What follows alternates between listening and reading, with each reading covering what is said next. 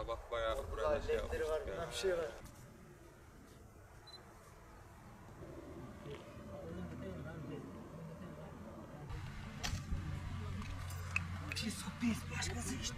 Ee, ekibimizle beraber aylardır geceli gündüzlü bunun için çaba sarf ediyoruz ve nihayet aracımızı ayağa diktik, yürür vaziyete getirdik.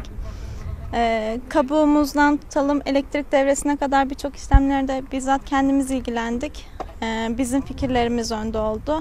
Hocalarımız sağ olsun çok şey yardımcı oldular. Ekibim ve ben e, bunun için çok emek verdik. 70 bin TL civarında bir maliyete e, söz konusu oldu.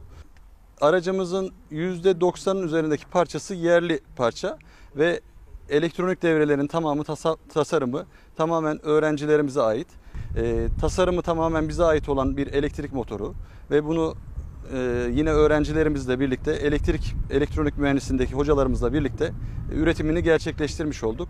E, kabuk tasarımımız yine öğrencilerimiz tas- ta- tarafından e, bizler hocalarımızla birlikte gerçekleştirildi.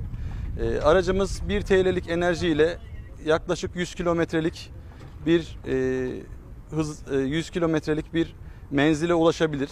E, bu elektrik e, alternatif enerji sistemleri açısından e, çok uygun bir maliyet. 100 kilometre civarında hıza ulaşabiliriz aracımızla. Ama en verimli hızımız yaklaşık 60 kilometre civarında.